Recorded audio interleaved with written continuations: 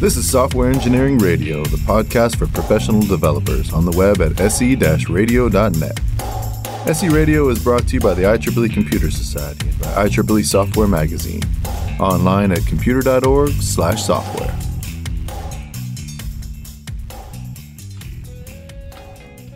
SE Radio listeners, we want to hear from you. Please visit se-radio.net slash survey to share a little information about your professional interests and listening habits. It takes less than two minutes to help us continue to make SE Radio even better. Your responses to the survey are completely confidential. That's se-radio.net slash survey.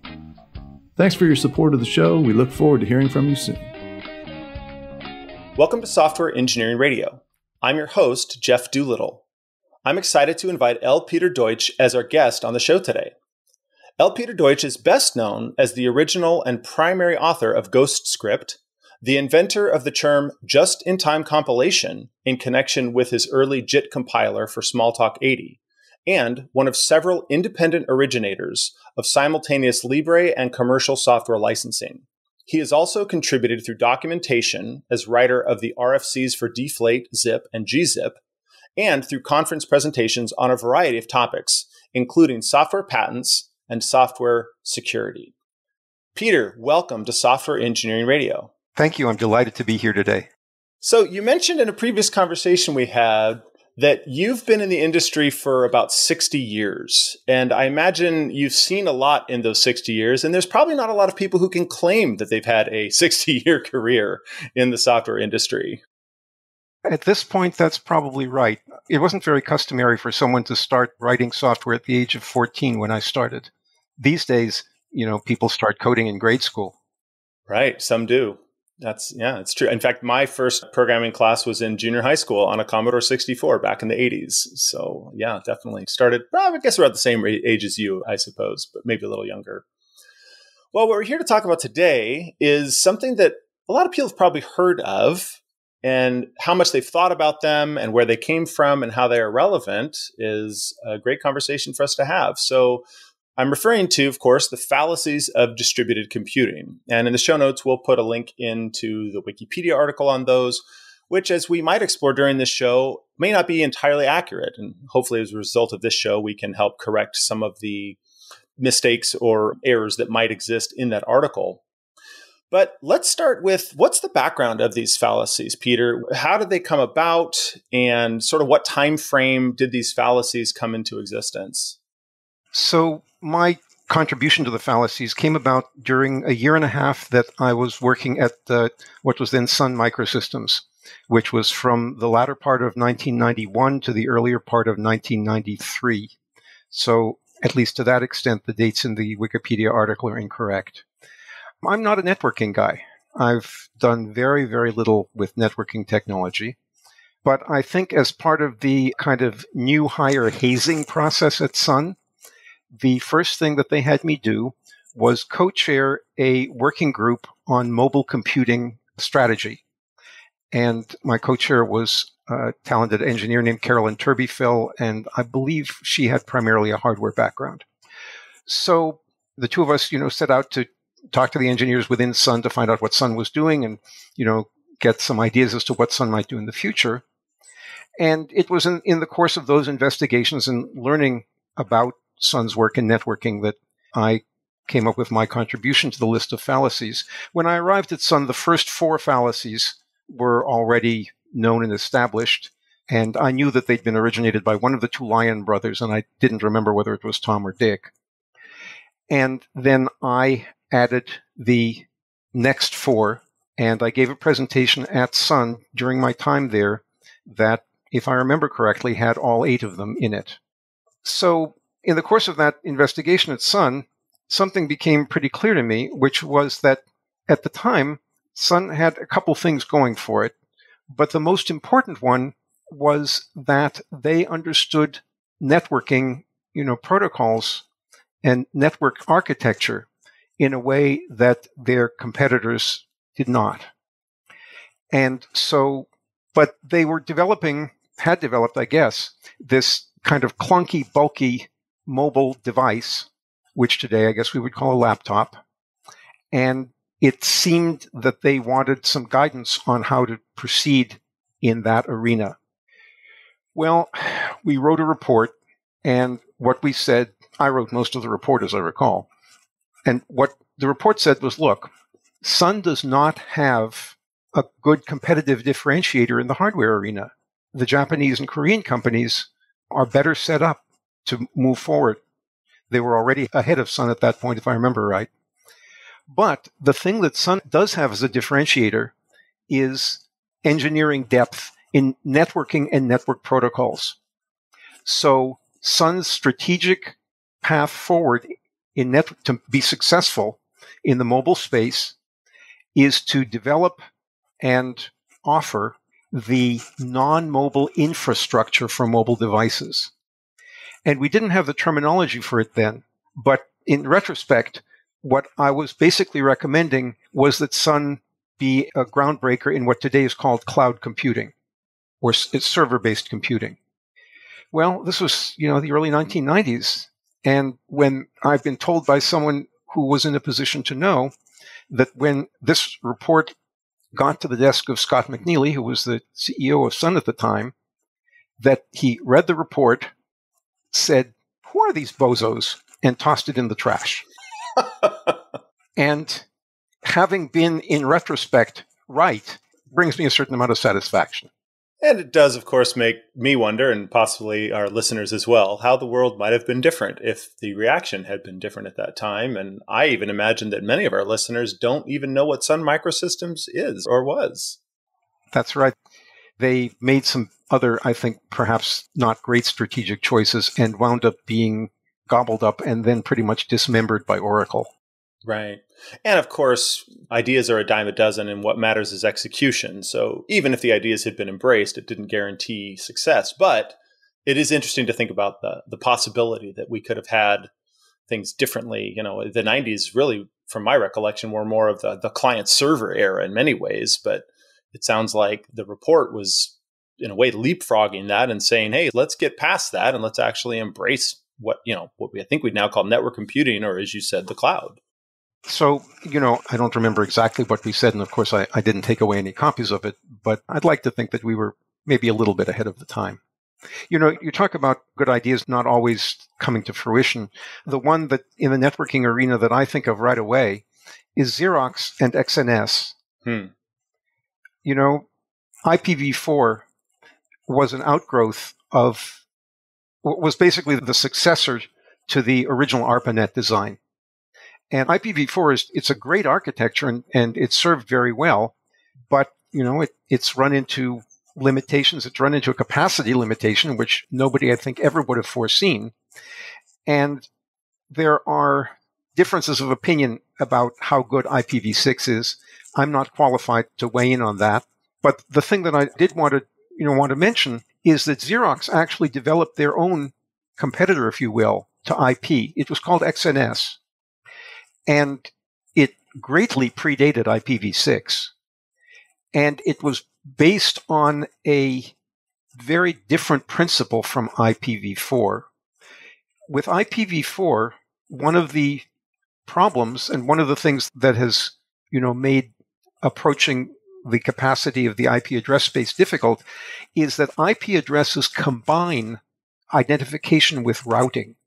If you look at the way an IPv4 address is put together, part of the address basically says, or at least started out saying, something about what network that device was attached to. And if networks grow at different rates and, you know, if different geographic areas, you know, have different needs in terms of their amount of namespace, the IPv4 model just isn't cut out for it. That's a fascinating insight, right? The, the topology was coupled to the routing.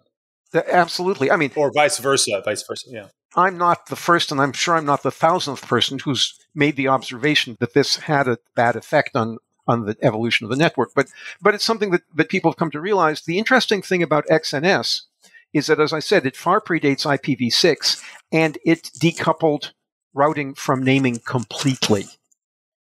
Devices had permanent, if I recall correctly, 48 bit names. What today we know as MAC addresses. They did not have IP addresses in the sense of IPv4. And furthermore, those unique IDs were not necessarily arranged or partitioned in any way that had anything to do with geography. That architecture puts a much greater load on routers because they now have to keep routing information for every device. A full XNS address consisted of a 48 bit device ID and a 32 bit, again unstructured, unique ID for a network. So the idea was that routers would expect people to be supplying these, whatever it would be, 80 bit addresses, and would start out by routing packets to the network specified by the 32 bit address, which might be wrong. It was only supposed to be a, hint, a very reliable hint. But if a device moved from one network to another, you know, the 80 bit address would be wrong. The 48 bit address would be fine. And so there was machinery built into the architecture, you know, for recovering from the situation where devices moved between networks. And Xerox didn't do what they should have done, which was to make all the specs public, you know, to encourage implementation and deployment by, you know, everybody on the planet. If I remember right, they tried to hold XNS closer to their chest as a proprietary protocol. And that was a horrendous mistake. And that is not perhaps the only factor, but certainly one of the factors in XNS not gaining traction. So while this isn't directly related to the topic of the fallacies of distributed computing, it does touch on something that is related to them, which is the whole issue of the benefit to the developer of a standard that comes from making that standard open. Because the developer of the standard and the promulgator of the standard, even if they don't have full control over it, are first out of the gate. And they have probably a deeper understanding of it than anybody else. Great example of that is Adobe. You know, I mean, I did GhostScript, right? It's the second implementation of, PostScript. But as one of my friends at Adobe once said, that my business was about as much concern as a competitor Adobe as a flying on an elephant's because you know Adobe had this entire team of developers and deep understanding of all the issues behind raster image processing. And I didn't. You know, I was a software guy who started out not knowing much of anything about graphics. So, you know, they're still the flagship. And the fact that they made those specs open and in fact put a, a good bit of resources into publishing them and making them be really good specs created this tremendous market for PostScript and later for PDF. And a tremendous amount of that expansion accrued to Adobe. If Xerox had understood that phenomenon with respect to XNS, who knows what the networking world would have looked like today? Yeah, and that so far is a recurring theme in our conversation, which is, you know, what could have been had things been different. And I think that's a great transition. Absolutely. Yeah, and it's a great transition to the details of the fallacies now because, you know, the approach to these say 25 years ago may be different than what it is now and along the way and also might have been different had things gone differently in relation to some of the conversations or strategic either lapses or what have you, you know, as it relates to these these companies. And again, with Xerox, you know, while I'll put links in the show notes for, Sun Microsystems and Xerox for those who don't know who they are. Although I think Xerox is most infamous for the people who might be familiar with Xerox PARC and the fact that they basically created the graphical user interface, which of course was commandeered, borrowed, however you might say, by others. Yes, well, I was there when pretty much all of that was happening, but that's a discussion for another day. It is.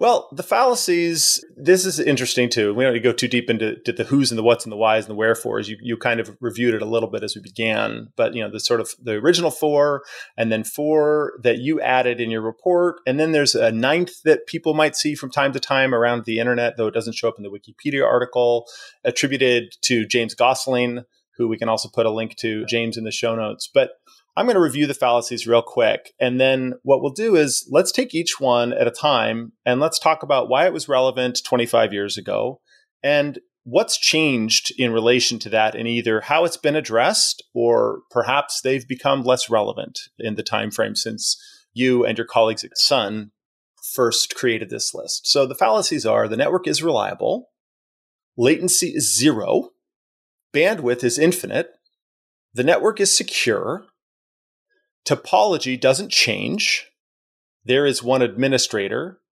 transport cost is zero, the network is homogeneous, and finally, we all trust each other.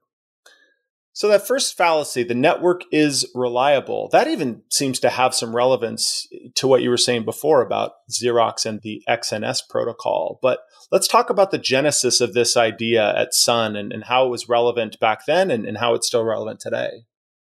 Well, so I don't actually know the genesis of the first 4 mm-hmm. but what I can say about reliability is if you look at reliability in the context of networked systems, which of course I really understand best from the software side, you have reliability enhancers potentially at, at all levels of what's called the protocol stack. So, you know, down at the bottom level, you may have, you know, checksums on the packets that cause the hardware or something very close to the hardware to do retransmits. Then, you know, at the next level up, you have TCP windowing. And then it's at the level above that, at the application level, that unreliability tends not to be addressed. Hmm. Now, at the time, 25 years ago, as I recall, maybe not campus computing, but wide area computing, networking, was not as reliable as it is today. So at the time, software correction for outright, you know, transmission errors may have been relevant. Today, I think it's fair to say that it is not. That we now have enough experience with error detection and error correction within, you know, the kind of the ubiquitous levels of the protocol stack that reliability in terms of data corruption as seen at the software level is just not a factor anymore. However, what is still tremendously relevant is outages, is interruptions in service. And that is still being handled badly. So error handling on network errors, I think to the extent that even was relevant, is not particularly relevant now. Handling timeouts, handling failures to transmit is still very important, and software generally deals with that very badly. And I'll give an example that just came up in the, you know in the last week. So my husband uses an iPhone, and he does a lot of email on the iPhone. When he tries to send email from the iPhone, if the transmission fails, number one, he says the iPhone doesn't tell you about it. And number two, it doesn't try to retransmit. you have to notice that the message is still in the out queue and tell it to transmit again.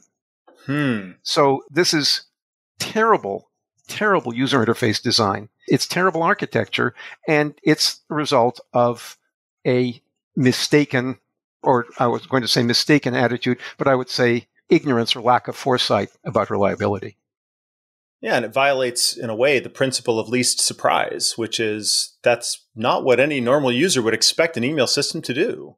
Well, certainly not a normal user who's used to desktop computing. but that's also another discussion.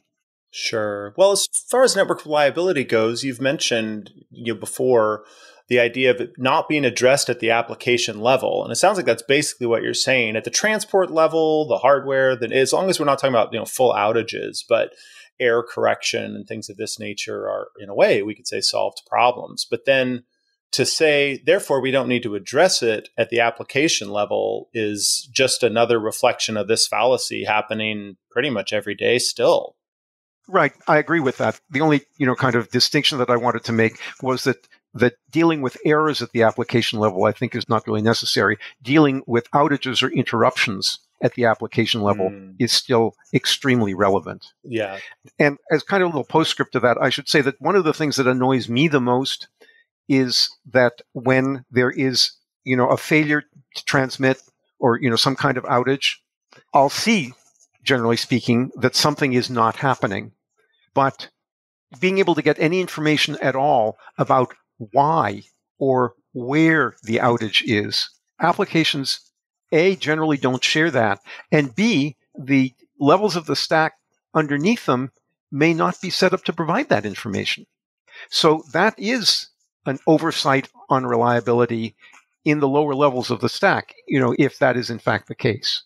That makes sense. And I see attempts to try to resolve this a bit more explicitly with new protocols such as gRPC, which you know flat out has a deadline within the payloads that you send by default. And so there's an example of making timeouts front and center. It's like you should expect this thing to be either processed by a deadline and if not you should be ready to handle the fact that it wasn't processed as opposed to http which is much more loose in that regard. It is. But you know you mentioned timeouts. So something that i've been having an ongoing wrangle with my broadband provider about we're out in the country and we have uh, wireless broadband, and it is extremely annoyingly unreliable. And even when I call up their tech support, sometimes I can't get any any information from them about where they think the problem is. And it's not clear that they even have that information. So, for example, something that I believe they don't have is I don't believe they have good hop by hop outage logs. Hmm. If they did, they'd be able to say, oh, yeah, you know, the problem is in our connection to the backbone. You know, the problem is in this intermediate link between where you are and our hub. The problem is between our antenna and your point of entry. The problem is beyond your point of entry. That's something they ought to be hmm. able to tell me. They ought to have that information, and they don't. So it's not just a matter of problem recovery. I think this particular fallacy also leads to inadequate tools for problem diagnosis and communication. Absolutely. And of course, you told me that as we're in the middle of recording a podcast from hundreds of miles of distance from each other, that your network is not reliable. So hopefully, the fallacy will not bite us as we're here recording this. Well, as it happens, I have an office that's not at my home, and it has very, very reliable DSL broadband. And that's where I am right now. Oh, well, that's good to know. So, but back home in the country, I imagine yep.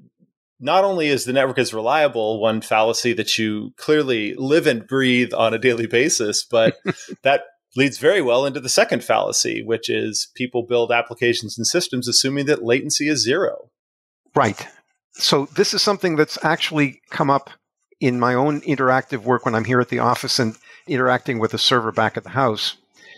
One of the failure modes of the wireless broadband is not a complete loss of connectivity, but is multiple retries that may cause things as simple as, you know, as character echoes to get delayed by many seconds. And when that happens, sometimes one isn't sure whether something actually happened or not. And, you know, you spoke about timeouts. Timeouts aren't a bad idea, but for an application to be able to tell you whether something is in the process of happening or not would be, I think, really valuable to users. Mm-hmm. And so there are really two aspects of latency, and one of them actually relates directly to the next fallacy on the list.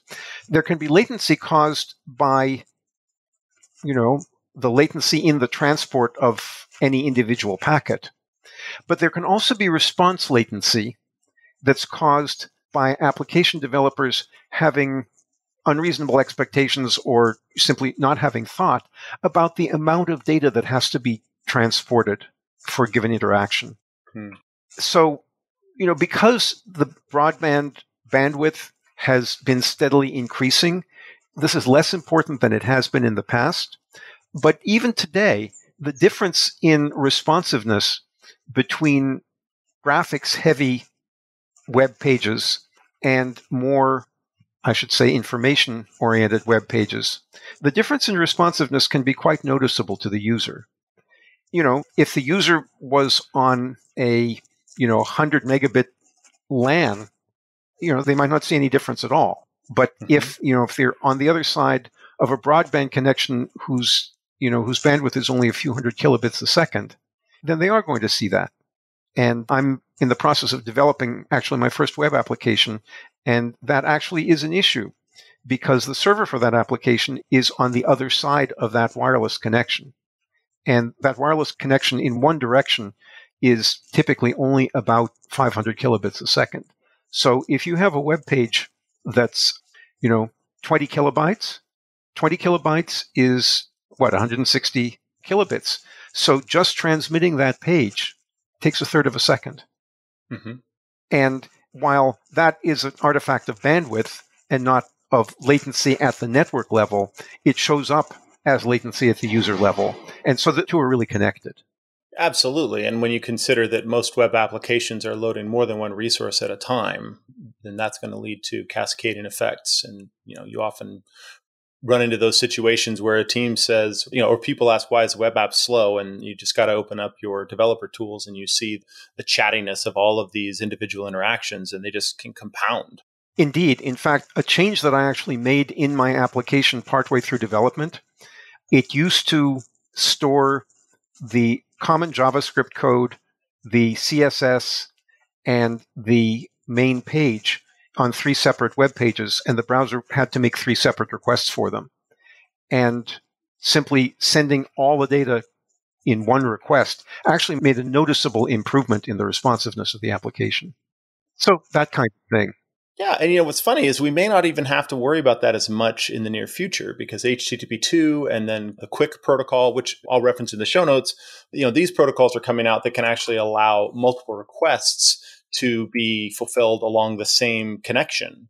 Whereas, you know, what we've had since the beginning of the internet is more of this, you know, per resource requires its own, you know, connection and, and there's not this ability to sort of inline these requests. So well, some of that is going to be hopefully somewhat resolved, but Sounds like you're not so sure. well, the thing is that what you just described is doable now because HTTP is a connectionless protocol. So mm-hmm. if the browser and the application of the browser are multi threaded, the browser can issue multiple HTTP requests and have them basically, you know, be a, a, convoy going through the network in one direction and having the responses come back in a convoy in the other direction. Mm-hmm.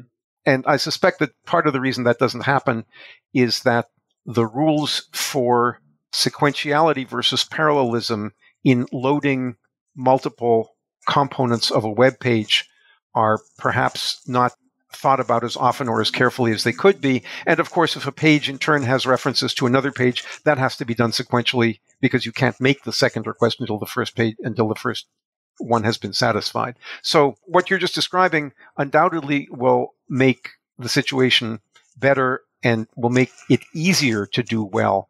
But I think at this point, the issue is not so much that you couldn't queue HTTP requests, but as that it is awkward to do within the current technologies.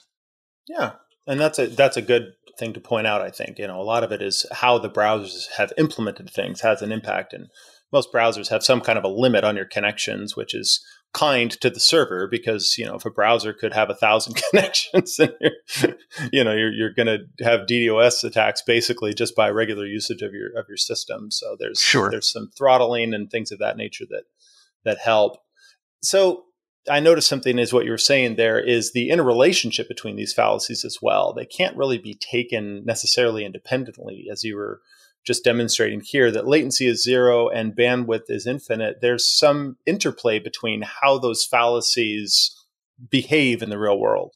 And there are other connections on this list. So, for mm-hmm. example, I mean, we're not there yet, but the connection between number four, the network is secure, and number nine, we all trust each other. There are connections between those 2 mm-hmm. And there are connections between number five, the topology doesn't change, and number six, there is one administrator. Mm. Those are also connected.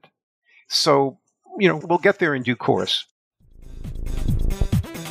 Elastic enables the world's leading organizations to put their data to work using the power of search.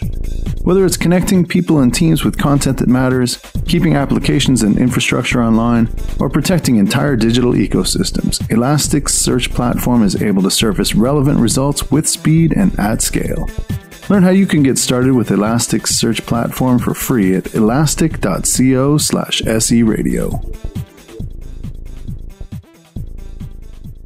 Sure. And that's a great opportunity to transition to number four, which is the network is secure. And as we're diving into that, it again, it occurs to me as well that it's interesting how many of these fallacies they seem to pertain greatly to the applications that use the network, not necessarily just to the network itself. And maybe that's something that people haven't recognized before is they're about networking, But it sounds like in some ways the fallacies are more about the expectations we have of the network and how we use the network, because in some ways the network, you know, the networks we have have resolved a lot of these problems, as you pointed out before, at the transport layer, but at our peril, we ignore them at the application level. Absolutely. And in fact, for number four, which we're just about to talk about, the network is secure. There's a saying in the security community, which, you know, I'm not the security guy, but it's kind of stuck with me, which is that in a layered system, security can be lost at any level. Hmm. So the situation with network security is actually kind of interesting because the other thing to go along with what you just said about the fact that these issues are not just about the network infrastructure, but about the application as, as well, there's a third thing that they're about, which is the environment of use. In the early 1990s, networking was very new and an awful lot of the networking that was happening was happening within technology organizations, within research centers, probably within the military. I wouldn't know and where, for example, you know, people started out with an experience of latency being essentially zero because practically all of their networking was on campus or inter-organization networking. Mm, great point. And now, well, it's kind of interesting. We went through an era in which bandwidth was a big problem because consumers, you know, end users, non-technical users were piling into the network world faster than the telecoms or whoever could build the capacity. And now the pendulum has to some extent swung back the other way. You know, it's now pretty routine, you know, to do consumer level real time or near real time video conferencing. Mm-hmm. So bandwidth isn't infinite, but the importance of that particular fallacy, you know, went way up for a while and has now gone back down again somewhat. Whereas for number four, the network being secure, the importance of that issue has just continued to go up. Because, first of all, you know, first we went from a situation where almost all the networking was done within, you know, fairly well established trust boundaries to a situation where, you know, all of a sudden we had these, all these consumers piling onto the network. And then we're now in a situation where, number one, because of malware, the security of the end users is much more difficult and more complicated than it was 20 years ago. And I have a, a, whole wrap on malware, which is also for another day. And also, with the use of networking, including broadband networking, within the government and within higher security environments, the incentive for bad players to attack networking has increased greatly.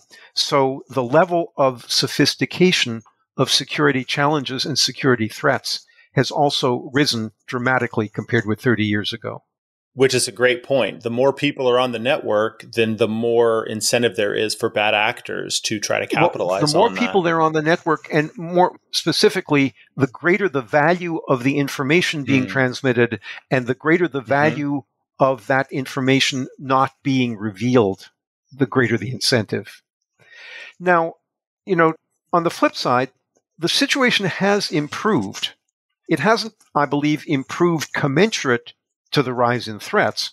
But for example, you know, the fact that HTTPS and SMTP over TLS, the fact that at least hop to hop encryption is now becoming kind of the, the norm that mm-hmm. is certainly an improvement in a big class of security situations.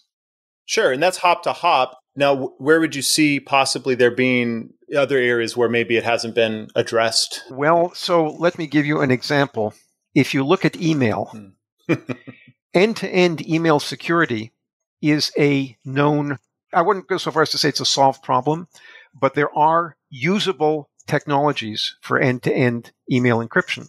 And there are products out there that do it. I think Signal does it. I hmm. think Telegram does it. I think there are a couple of others. But in an example of something that causes problems to, I think perhaps in all of these areas, Google will not do it because their business model depends on their being able to read people's emails. Hmm.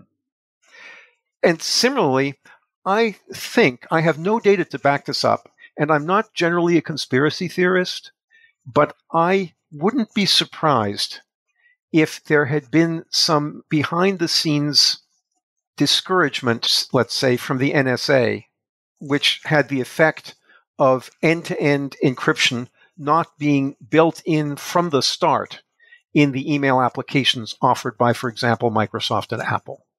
Yeah, which is so interesting because, and again, I, and I agree with you, it doesn't really take conspiracy theories to explain a lot of things. It just takes following the incentives. And of course, there are people who'd have an incentive to do what you just described. And yet, ironically, it leaves those same entities prone to attacks themselves. So it's sort of, it's sort of a doubly bad impact.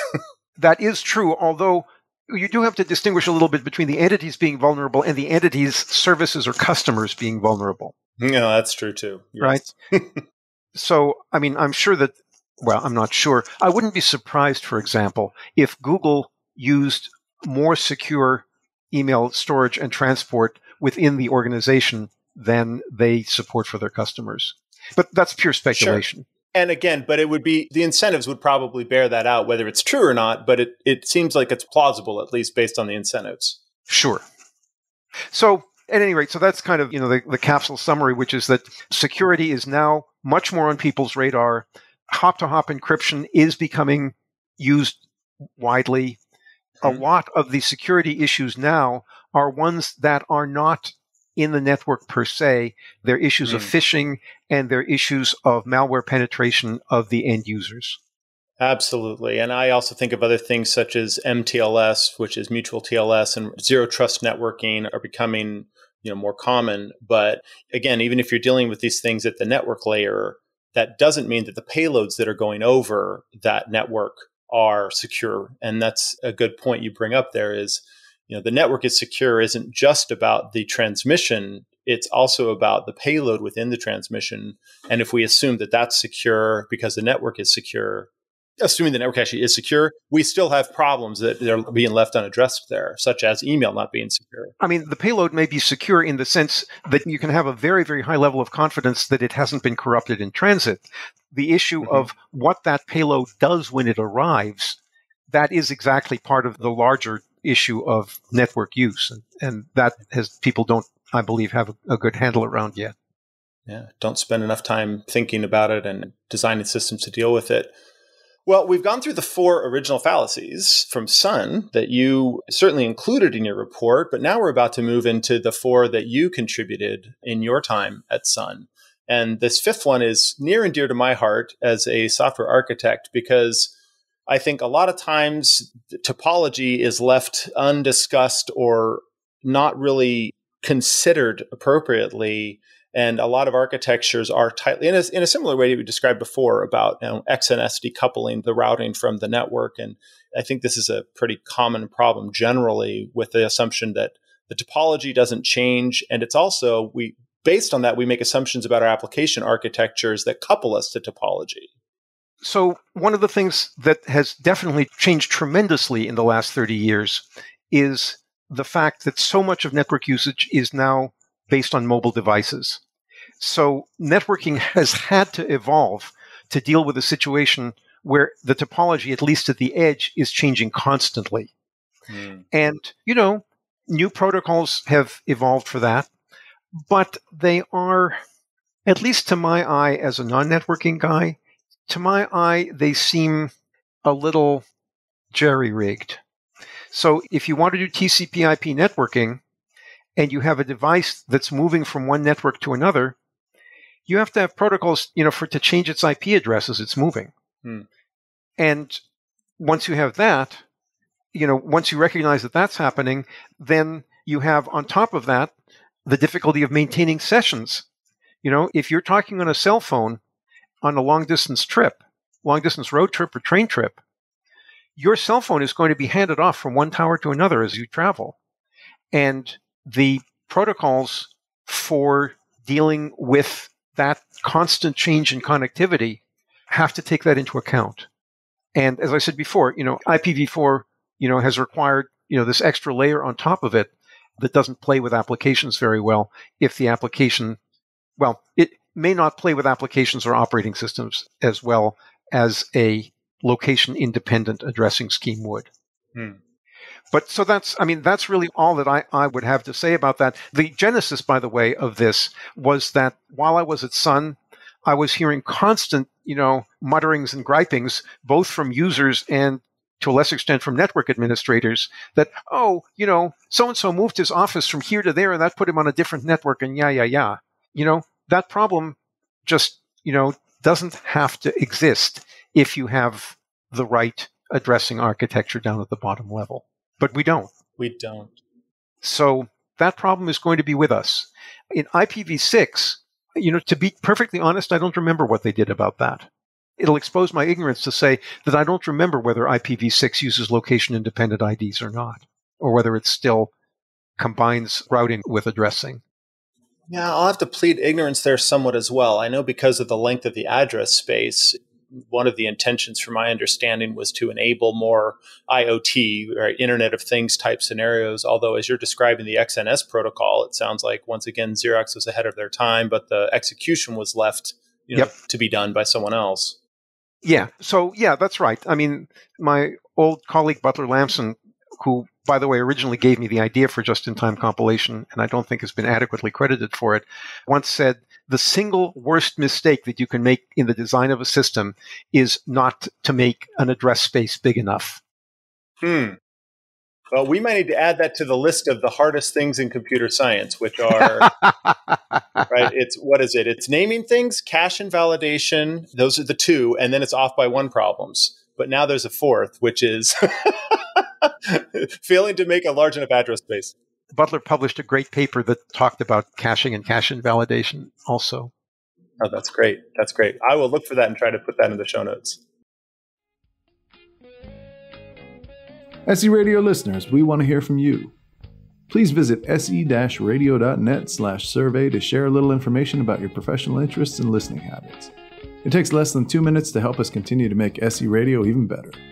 Your responses to the survey are completely confidential. That's se-radio.net slash survey. Thanks for your support of the show. We look forward to hearing from you soon. the issue of changing topology is also coupled with the next issue of administration.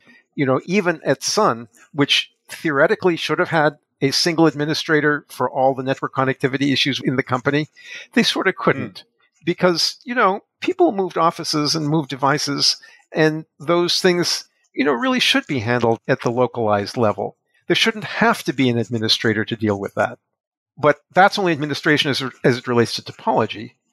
Now, administration as it relates to policy, you know, which is on the Wikipedia page, is a different issue.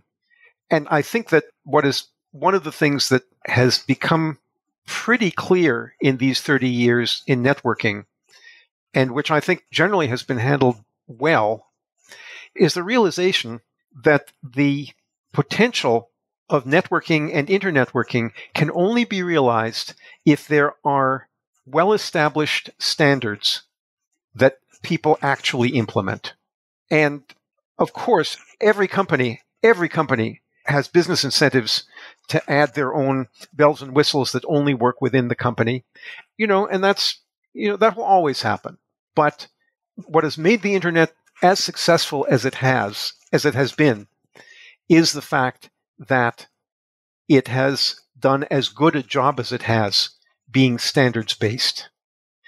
So the relationship of that with this fallacy here is to say that the best administration, at least of some things, is administration that doesn't need an administrator. Hmm. It is administration on the basis of standards. Yeah, that's a great point. I'm an extremely strong believer in good open standards. And I think I mean, I'm also a great supporter of open source software, but I believe that open standards for both software and data formats are more important than the software itself being open source. Hmm. Say that again. I believe that good open standards, both for software interfaces and for data formats, are more important than for software itself to be open source. I think that's a great insight. Yeah.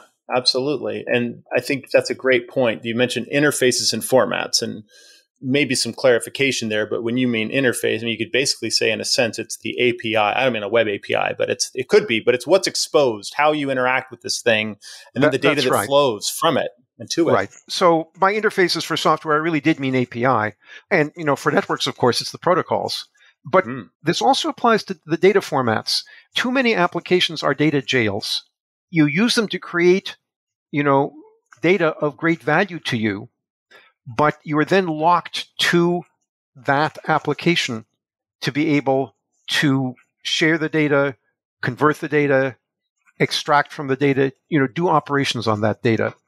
I won't go into this, you know, at tremendous length, but my other careers is, is as a musician, as a composer. And the two leading commercial musical score editing programs, uh, Finale and Sibelius, mm-hmm. both deliberately not only refuse to publish the formats of their data, but at least Sibelius actually goes to some trouble to encrypt it. Hmm. So they do not want any third party to be able to read the data, read the information that you created using their application. Hmm. And I think this is, well, we're on the air, so I'll just say I think this is very unfortunate. It is unfortunate. It sounds like you know Microsoft Office before they changed it to an open standard, and then that changed a lot of things. And it didn't seem to hurt Microsoft to make this. Not that, and I'm not commenting on how good the standard is. I'm just saying it didn't hurt Microsoft. But something that you should know is that there's a difference between making the form of the standard open and making the semantics of the standard open. Because mm. even with DocX format, even with the XML based format, being able to render a Microsoft Word document accurately, when I say accurately, render it the same way as Microsoft software, requires mm. knowing a tremendous amount about quirks and peculiarities of Microsoft's implementation. And sure. that's why I said before that what's important is not only that the standard be open, but that the players, that the implementers recognize that it's to their greatest advantage to implement it faithfully. Well, this has all gone a little a little far afield, but Sure, it has. Back to the point about administration, I think the the idea that standards are actually they are a form of administration, just like the consumer market is a form of regulation in a sense. And so if you can get sort of inbuilt administration without an administrator, then you can have significant benefits from doing so. You can. And that leads into a whole fascinating discussion of political philosophy. And I'm I'm going to have to stop myself from going there. yes, different podcast, different episode. But from that, let's move on to number seven. And intriguingly to me, as I look at seven, which is transport cost is zero, in some ways it relates to number three, which is bandwidth is infinite. You know, exactly. There's a relationship there. Yeah. So I'm trying to remember what was going through my mind when I added that one to the list. You know, I don't know that I can really add a whole lot to that because I don't honestly remember exactly what the charging model for networking was like 30 years ago. And one of the things that is quite striking is that today the transport cost, at least as seen by users, is generally zero. For users, it is, but ironically, the relevance of this, I think, has greatly grown for software engineers because very often they will design a system, and I've seen this multiple times in my career, without taking into account the transport costs. And then sometimes, depending on the nature of the data and the usage metrics and things of this nature, that suddenly you discover your transport cost is not zero and it can bite you. well, so let me push on that just a little bit. Okay. I mean, if you look at a company that's offering some kind of service through the web, let's say, their primary usage based cost is going to be server capacity. Mm-hmm. And it's my impression that for you know for high bandwidth network connections, T1s or OC3s or whatever they're called, I was under the impression that those are flat rate. So within a fairly broad range, the transport cost, it's not zero, but it's usage insensitive. Now, you know, as your traffic builds up, you know, then there are going to be times when you have to, you know, go to higher tiers of bandwidth. So my impression is that it's not exactly transport costs that you're hmm. seeing, but bandwidth or capacity costs. And that's possible. Yeah. And that's fair. You know, if you're crossing clouds, for example, there's ways that you can try to reduce that by setting up, you know, mutual VPNs and things of this nature. But I think it's, and, you know, to your point, you mentioned server capacity, which, you know, compute and storage would be the primary elements of that.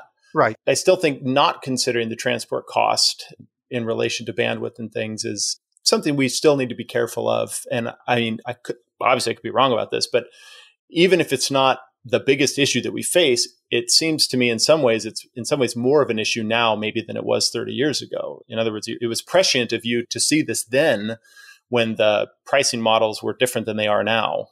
Interesting. Well, okay, this may be a blind spot on my part because I don't really have, have much of anything to add perhaps mine as well. So let's move on to number eight. right. Which, you know, somewhat has to do with topology, intriguingly. You know, five and eight, I think there's a bit of a relationship there. It has something to do with topology, but I think it has a lot more to do with the point that we were talking about earlier, which, you know, is not really exactly a fallacy on the list, which is the issue of standards. Mm. Because the adherence of a multi-network or an internetwork is to standards, the less of an issue homogeneity at the hardware level or at the implementation level becomes. Because the standards allow you to. Because the standards make the network not only appear homogeneous, mm. but in operation be sufficiently homogeneous. Right. And even if there's multiple standards, as long as they're adopted appropriately and consistently, it's still a form of homogeneity. It's just maybe more of a composed homogeneity rather than like a dictated top down homogeneity. Perhaps one of my former colleagues, Jim Morris, who was a great source of wry sayings, once said, and I like this so much that I call it Morris's dictum, that the great thing about standards is that there are so many of them to choose from. yes, yes, and that is a problem, of course. But the thing is that yes, I mean heterogeneity is an issue, and the thing is that I can't say I have I have a lot of insight into what this observation translates into when you're developing, well, in my case, networking software. The thing is, you can only go so far because one of the big issues in heterogeneous environments is that the very semantic model of what it is that's being represented may be different. I don't know enough about network technology in detail to give you an example, but I have a good one from an arena that I'm more familiar with, which is musical score representations. So, for example, one musical score representation may say, okay, you know, you have multiple staffs and you have notes on each staff right? Mm-hmm. There's a different score representation that may say, okay, you have multiple staffs, but you may have more than one voice on each staff. And so now, you know, notes get linked together because they're all part of the same voice. And then that representation, it may even have the concept of a voice going from one staff to another and coming back again. You see this sometimes in, in piano music where you have what amounts to a single voice and it has to transition from one hand to the other. Mm-hmm. You can't do automatic conversion between those two formats because one of them has hmm. information in it that the other one just doesn't. And, you know, if I had time to think, I could probably come up with some examples of this in the networking world. So, from what I can see, the best approach to heterogeneity in the networking world has simply been to get rid of it by a you know a community based process that develops standards that everyone is willing to sign up to. Hmm. I think there is more awareness of this as an issue than there was 30 years ago, because 30 years ago networks and you know networking hardware and software weren't kind of you know butting up against each other the way they do today. And I also think that, as I said before, I think the industry hasn't done that bad a job of actually carrying it out. And I think that makes sense. I'll give you an example. HTML5. Mm-hmm. There's some things about HTML5 I really don't like, but it is a part of networking technology, in my opinion, even though you know it isn't part of, of transport, where the industry has done a creditable job of moving a standard forward to include new areas of application and new opportunities. I think of the power grid and the mistake that someone could make of assuming that the power network is homogeneous and failing to recognize that, you know, some power grids are on 50 hertz, some are on 60 hertz. And if you don't take that into account, you're going to have problems. And that's one of many examples of if you assumed the power grid is homogeneous, you know, across the world, you'd have issues. And there are ways to resolve it, you know, yep. but yeah. But that's a great example. And it does kind of tie back to what I said a moment ago, which is that if you kind of know what the space of heterogeneous alternatives is, then, you know, not keeping them in mind is definitely a fallacy of development. It's when, you know, when you have spheres of influence or, or spheres of deployment that come in contact with each other for the first time, and you have entities that have may have started out from quite different assumptions that now have to be able to talk to each other, that's where the problems really come up. That makes sense. There are tons of good science fiction stories about this. Absolutely. Well, and even the power grid, you know, what I just described is basically two different standards, right, not right. two completely, you know, Wild West, we're doing whatever we want. And now we're trying to interface. That would be the network is homogeneous at its worst, if you, you know, assuming you believe that fallacy. But the power grid is a good example. There's 50 hertz versus 60 hertz. There's a 110 versus 220. Mm-hmm. So, yeah. Absolutely. Well, and it used to be you had to check with the voltmeter to make sure that what you were getting out of the wall was what you expected for a particular device. And we've resolved we've resolved that problem. And in a similar way, a lot of these things have been resolved with the way the, the network, the global network, works. Yes. So yeah, I mean, these issues are all still there and as we've seen, you know, going through them, some of them have been resolved better than others, and you know, some of them still aren't sufficiently on people's radar. But you know, with the additional 30 years of experience with small scale and then large scale networking, I'm temperamentally a pessimist. no, really, I am. But with respect to the issues that we've, you know, that we've just been over here, you know, I have, you know, pretty sort of cautiously optimistic outlook. Well, you might have said that until we get to number nine. I don't know, maybe you can tell me, but number nine is not originally part of the eight fallacies, but you have mentioned me previously that it does belong on the list. And we're not sure of the genesis, possibly James Gosling, but let's talk about number nine and perhaps right. the source of it and why you think it belongs on the list. Well, so it's really an expansion of number four, and it extends beyond the boundaries of the physical network the issue of security. And, you know, it's stated in kind of an informal way. If I were going to restate it, I would say something like the communicating parties trust each other. Or the party that you're communicating with is trustworthy. Yeah, I think I think that would be the way I would say it. The party that you're communicating with is trustworthy. Okay, and assuming that they are is the root of this fallacy. Is a fallacy because I mean again, this is a much, much larger philosophical question of, you know, what's an appropriate level of trust? What are appropriate kinds of trust? What are appropriate trust guarantee mechanisms? These are, you know, age old questions of human relations. And they're also mm. age old questions of business relationships, of contract, of law. You know, they come up over and over again. In the context of networking, I alluded earlier to what I think are the two big edge security problems that I don't think we have a very good handle on yet. You know, one of them is phishing, and the other one is end user malware. And I believe that there are known, deployable, proven technological approaches that would tremendously reduce the risk of end user malware I don't think those approaches are being deployed because they would have a very high commercial cost. And what we're seeing instead is bizarre and Byzantine attempts to mitigate them, for goodness sake, at the CPU level. Hmm. There's junk that's been slathered into the more recent Intel CPU designs specifically to try to do certain kinds of sandboxing and you know bad code detection at the CPU level. And I think that this is you know horrendously misguided. But I mean, those are the two sources that I see of end to end trust issues, namely whether the other end is either deliberately and knowingly or inadvertently and ignorantly being malicious. Conf42 is a new series of must watch tech conferences. It's online and free to attend, with hybrid events coming next year. Conf42 conferences cover topics like cloud, SRE, chaos engineering, machine learning, and quantum computing, as well as programming languages including Python, Golang, Rust, and JavaScript.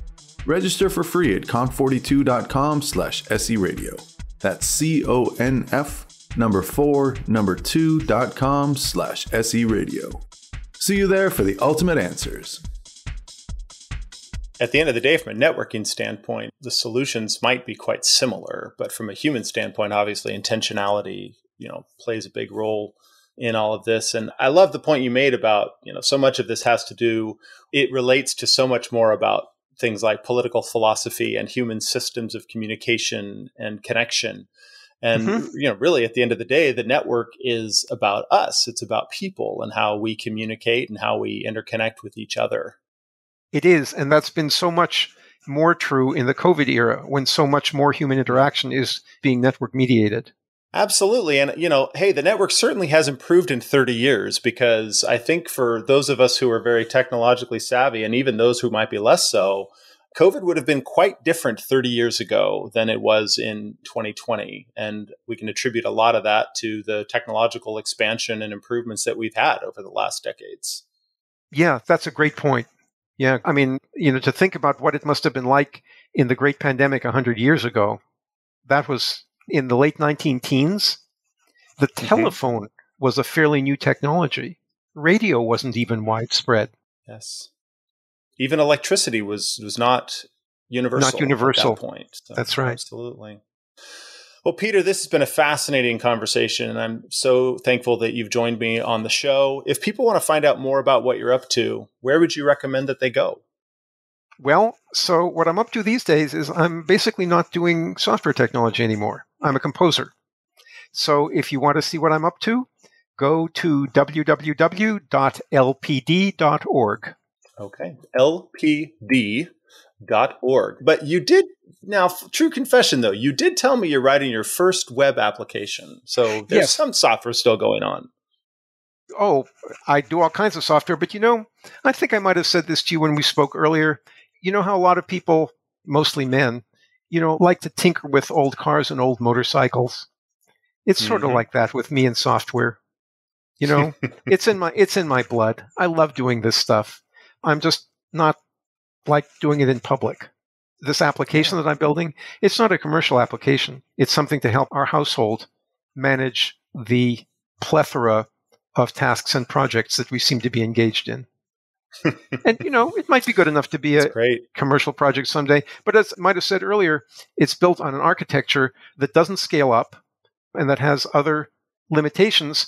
And you know, some of them relate to these fallacies. I mean, it relies on a, on a low latency network, and I mm. know hmm. that.